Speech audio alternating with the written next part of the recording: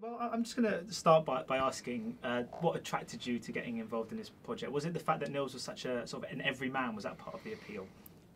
Well, first of all, it was, of course, because it was a Hans Petter Moland film, and we've done three films before. And on the, la- the last film before this, uh, A Somewhat Gentle Man, we it was it was our first attempt at comedy, uh, a kind of sort of darker but funny kind of film that we wanted to make different from other comedies. And in this film, he wanted to take it further, and so that attracted me. And then it's fun to it's it's always fun to. Uh, to play characters that doesn't reveal much about themselves, where everything is kept under the lid. I mean, like a pressure boiler. And this uh, man, he becomes really a pressure boiler because uh, he doesn't have the tools to handle his sorrow. He doesn't have the tools to to uh, to meet his wife after they've lost a child together. Uh, so he's he's desperate in a way, but and it comes out in this killing spree that he he uh, takes off on. And though obviously, you know, it's quite a dramatic sort of very cinematic in many ways. Are you still able to put yourself in his shoes and see see him as a human being and as a father, and be able to say, "What would I do in that situation?" Type thing, the sort of hypothetical scenario that's involved. Of course, you you do that, uh, and hopefully, I would react differently. But I'm I'm he's he's a man that is not used to to showing or dealing with his emotions or any emotions. Uh, he's a very square guy. Uh, hopefully, I'm better with it, so I won't end up if something terrible happens to me. I, I won't take it out on other people and start killing people. Um, but but it's it's you know the veneer of, of civilization is very thin, and we all have the the caveman inside us, and I I don't have any problems understanding uh, that I could become a killer myself. Uh, under pressure, and especially if your children are threatened or involved. You have it in you. Uh, hopefully, you, you find other ways to solve the situation, and, and hopefully, you live in a civilized society where the police can just put them in jail. I was wondering, you know, you're talking about the, the comedic element uh, to the film, mm. and I was wondering how important do you think it is when you've got a film that deals with quite dark themes, such as this, quite severe themes, mm. that there is that that moments of light relief. And I mean, when the, when it's the death toll comes up, that should be quite morbid, but the mm. sort of audience sort of laughing along with it at the same time. Yeah, you laugh along with with with the. Uh, with the death toll, but also it's, it's, in a way it shows respect for all the corpses. Uh, you know, you know, it's it's not like a film where you just shoot a hundred people in, and they just fall like and nobody cares about them. Uh, every everybody gets his little plaque here. He's dead and he's dead, uh, which is an act of respect, I think. Um, what was the question again? Well, I was just wondering how important you think it is to have sort of moments of light relief. Oh, oh the the moments of. I I love the idea of of of uh, sort of breaking up genres and and and and, and both both those two last films I've done with Hans Petter has been about do showing darkness and and uh, uh, and bleakness, and at the same time make it very funny. Um, some people think it's a kind of Scandinavian sense of humor, this or this ability to see to see the uh, the ridiculousness in the darkness. Um, but I but I think it's also you can see it in other filmmakers like the Kaurismäki brothers or the Coen brothers. They have this uh, genre breaking uh, attitude.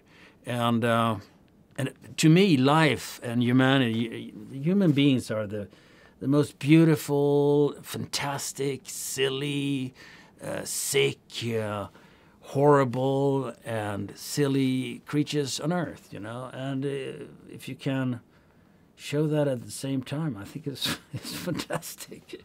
Uh, you mentioned obviously four collaborations now with Hans. I yeah. Mean, what do you think comes out of that? So what's beneficial to, to a production when, when the kind of the lead actor and, and the, the, director are so close? Because obviously it's something you've experienced with Lars von Trier as well. Mm.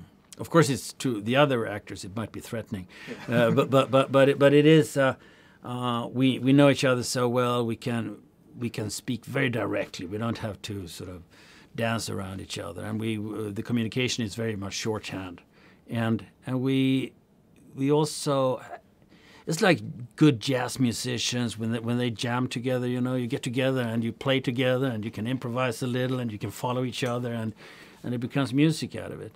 Uh, and that's the feeling you get when you when you work with people you you know or share your musicality with. Of course, the, the setting plays a huge part in this, adds to the, kind of the whole sort of ambience. I was wondering, was it as cold to, to shoot as it, as it looked? Worse. It was definitely worse. It was it was down to 28, 30 degrees minus, and and uh, that is frighteningly cold. I mean, you, you can't move your face.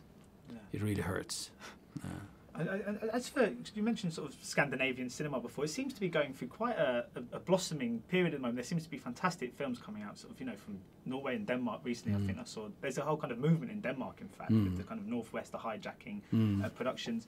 Does, as someone who's been in the industry for, for such a sort of a long time now, do you do you notice that this is quite a, a good time for Scandinavian cinema? Is that something that you're quite aware of? Uh, it's been going on in Denmark for quite a while. I mean, from from Trier and the Dogma movement and everything. A lot of interesting stuff has come out of Denmark. Norway has, uh, for being such a small country, a very strong tradition of uh, of uh, good filmmakers, and and they also had used to have municipal cinemas. Even the smallest little town had a municipal cinema where they showed films from all over the world. That was not just the mainstream films, which meant that Norwegian kids grew up with seeing films from all over the world and from uh, art house films and all kind of quality films as well.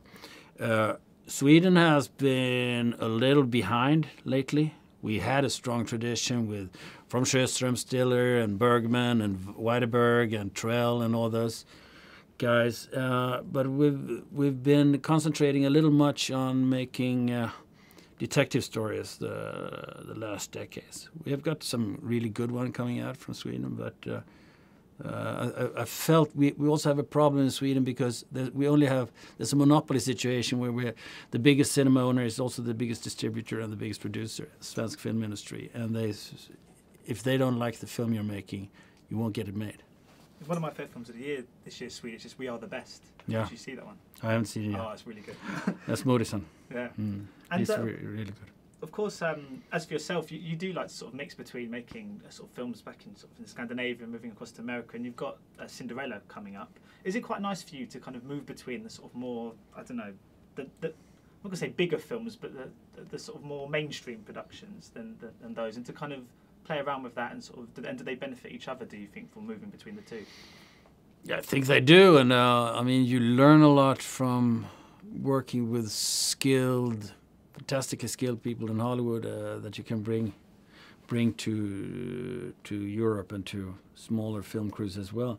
But but it's also it's not as different as you would think because if you work with directors like like David Fincher or, or uh, Gore Verbinski, those directors they work very much like independent film directors, even if they have a budget of hundred million dollars. So so around the camera is, is pretty much the same, and and what you aim for is the same thing to bring life to whatever character you have, whether the text is sort of very um, very skeletal and very much just in service of, of bringing the story forward, like it, it often is in a in a blockbuster movie, or if it's more with more psychological depth as in an independent film. It's the same. You, you go for the same things, really. So just finally, our kind of traitor is that another one you're attached to? Oh, Kind of Traitor. Yeah. Yeah. well, So uh, we've what's that? finished filming it. Yeah. Ah, so what's It's that one all about then? It's uh, it's the John John le Carré uh, novel called Our Kind of Traitor, and it's about uh, a defector. You could say it's in a way it's built like a Cold War story, but it's a defector, but not from the KGB, but from the Russian mafia that is trying to defect to England, and uh, uh, people die. Great. And on that note, thank you so much for your time today. Much appreciated.